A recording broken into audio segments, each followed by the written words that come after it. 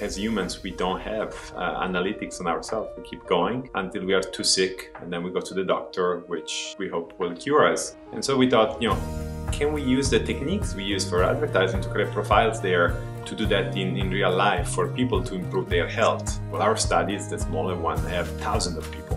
The large ones have hundreds of thousands of people. And those people are all distributed everywhere. Uh, we have studies in which the device that people wear, which captured 100 million data points per person per day in that study. AWS is fundamental. AWS provides high availability and replication across zones and automatic backups of all that. You know, even just doing that is probably a full-time job of somebody. But thanks to AWS, I could focus more on the application and what we are looking to do instead of the infrastructure, the hardware, the scalability. The company is already international, but we are going to launch more and more studies in different parts of the globe. And you know, thanks to the partnership with AWS, we can actually do that